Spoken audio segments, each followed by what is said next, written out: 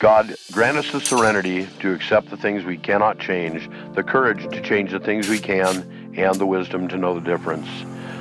God, we'd like to thank you for this beautiful earth, for all the beautiful people on this earth, and let there be peace on earth, and let it begin with us.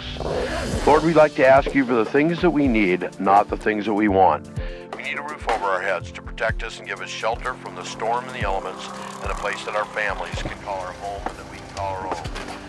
Lord, we need nourishment, nourishment to keep us healthy, strong, and disease-free, to ward off sickness and promote health and prevent injury. And Lord, we need the transportation that gets us to and from our destinations in life, but also gets us safely and securely from the starting line to the finish line in the sport we love so much of motocross.